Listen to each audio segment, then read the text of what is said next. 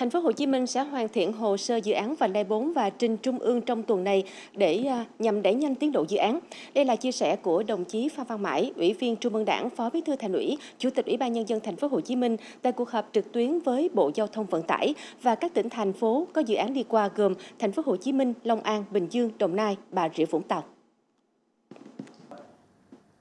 Dự án vành đai 4 được thực hiện theo hình thức ghép các dự án thành phần qua 5 địa phương thành một dự án tổng thể. Trong đó, thành phố Hồ Chí Minh là cơ quan đầu mối tổng hợp việc triển khai xây dựng dự án. Hiện thành phố đã thành lập tổ công tác triển khai vành đai 4. Dự án đang đối mặt với hai vấn đề là phương thức đầu tư và nguồn vốn. Thứ nhất là chúng ta ra soát để chốt cái phương thức đầu tư. Thứ hai nữa là khả năng cân đối vốn của địa phương để từ đấy thì chúng ta hoàn tất cái hồ sơ để để để về phương án tài chính để chúng ta trình. À, trên cơ sở đó thì thành phố mới có cơ sở để tổng hợp năm dự án thành phần thành một dự án chung để trình trình, trình cho bộ đầu tư. Báo cáo là phải trình bộ đầu tư thì lúc đó mới có cơ sở để thành lập hội đồng thẩm định quốc gia. Thứ hai nữa đối với đấy cũng là cơ sở để trung ương xem xét để cân đối vốn về nguồn vốn triển khai, bốn địa phương gồm Thành phố Hồ Chí Minh, Đồng Nai, Bình Dương, Bà Rịa Vũng Tàu thống nhất sẽ cân đối vốn địa phương. Riêng tỉnh Long An sẽ cân đối vốn địa phương một phần và xin hỗ trợ ngân sách trung ương một phần.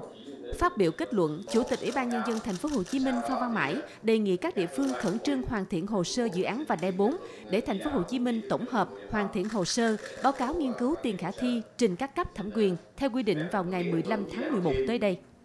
Bình Dương sẽ tách ra Ờ, đi sớm. Theo như ờ, cái hồ sơ mà các đồng chí ờ, đã báo cáo với tỉnh ủy, với hội đồng dân à, theo chỉ đạo của thủ tướng, thì Bình Dương sẽ tham gia các cái cơ chế chính sách